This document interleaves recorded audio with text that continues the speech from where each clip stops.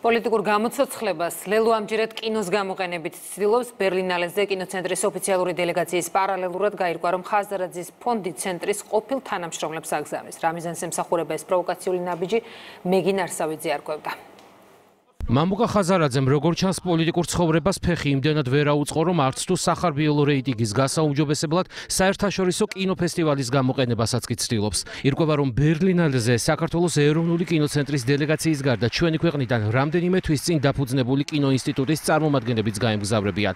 მათ სტენდს სწორედ ხაზარაძეების ოჯახის ფონდი აფინანსებს. ამის პარალელურად ხელისუფლების ოპონენტები კინოცენტრის დელეგაციის დისკრედიტაციას ცდილობენ. კრიტიკის დროს კი არგუმენტად მხოლოდ წევრების რაოდენობა მოხავთ. კინოცენტრის ფილმწარმოების დეპარტამენტის ხელმძღვანელისგან ვიგებთ, რომ დელეგაციის 32 წევრიდან 23 რეჟისორი და პროდიუსერია. აქვე ბაჩო ოდიშარია კინოინსტიტუტის წარმომადგენლების დელეგაციისგან, რომელიც დაკომპლექტებულია კინოცენტრის ყოფილი თანამშრომლებით, ფესტივალზე პროვოკაციებს არ გამორიცხავს. 32 ადამიანი და რომელიც კინოცენტრის დელეგაციაში არის, არის 23 რეჟისორი და პროდიუსერი. აა მათ შორის ძალიან კარგად იციან თუნდაც ამ ბოიკოტის მხარეს, რომ ესენი არიან ალბათ ყველაზე მნიშვნელოვანი ქართველი შემოქმედები ბოლო პერიოდში დაწყებული გელა ბაბლუანით და დაამთავრებული რუსუდან გურჯიძით. ხუთი წარმომადგენელი არის უშუალოდ კინოცენტრის თანამშრომელი, რომელიც უფასოდ, რომელსაც უფასოდ აქვს აკრედიტაცია ბერლინალესგან. და მხოლოდ 4 არის მედია გამშვებელი და ამას მოყვა თავარი აჟიოტაჟი. შინარზე არავინ არ ლაპარაკობს, უბრალოდ არის ეს პოლიტიკური ისტერია, რომელიც მუდმივად ჩვევიათ მას, რაც არის ზირთად ამ ბოიკოტის დასაწყისიდანვე მათი מחასიათებელი. მაშინ, როდესაც ადამიანები რომლებიც ამბობენ, რომ თავისუფალ და დამოუკიდებელ კინოს ქმნიან და კინოცენტრი ამას ემუქრება, დაждენ უცებ მამუკა ხაზარაძის ბალანსზე. რამიზანი აქვს კინოინსტიტუტს, რატომ გადაწყვიტეს კინოცენტრისგან დამოუკიდებლად ბერლინალეზე წასვლა და ჯამში რამდენი ადამიანია დელეგაციაში ეს კითხვები მათ ვერ დავუსვით.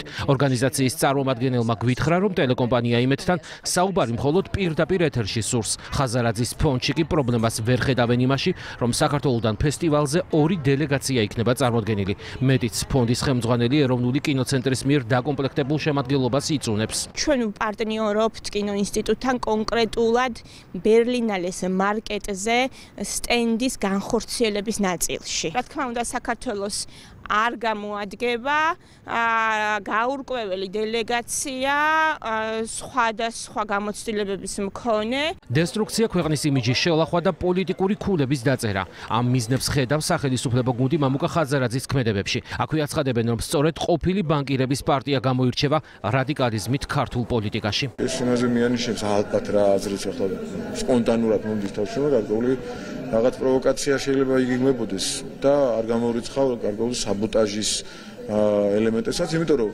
ლელო როგორც ასეთი ეს ნაცმოძრაობის ერთ-ერთი დამატებითი შტო და წარმონაქმნი გახდა ყველაზე რადიკალური ფრთა.